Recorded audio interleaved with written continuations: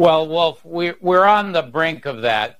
This question of whether the immunity that Donald Trump asserts, even to send SEAL Team 6 to assassinate his political rivals, was first placed before the Supreme Court on December 11th, 2023. There's no call to take six months to decide the absurdity of that question. And with every passing day, they're more responsible for the problem you identify of getting this trial on the books. We'll see. Elie's right about the two forks in the road.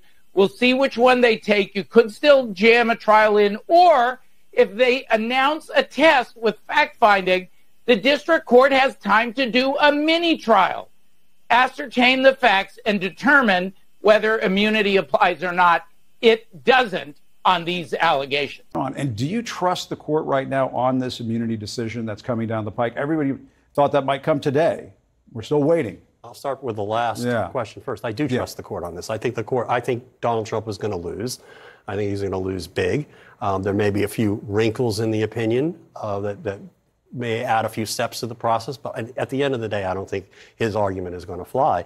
In terms of the delay, I wish they had not taken the case. I wish they had decided it months before. But the fact of the matter is, I don't think there is some grand conspiracy or even an effort by some of the justices to put this off to help Trump. The fact of the matter is, if, if the decision comes down June 20, June 24th, the week of June 24th, last week of the term, that could mean that the case goes to trial in the middle of September, at the end of September or beginning of October, which would you, be highly unfavorable. You think it's it it's possible? Happen? Yes, because well, the reason is because when the case first went up to the Court of Appeals, uh, the, there were 81 days. It was 81 days before trial, and if you and the court has said basically, the district court has said that it's going to keep that 81 day schedule. And if you add 81 days to the end of June, you basically get the, the heat, the middle of the fall campaign. So it, it could actually backfire on Trump. But that said, I mean, I don't think I think the Supreme Court is just being the Supreme Court. They this is one of the most important decisions um, that they will render in a long time. I mean, I think they didn't have to take the case. I think that the D.C. Circuit had it right.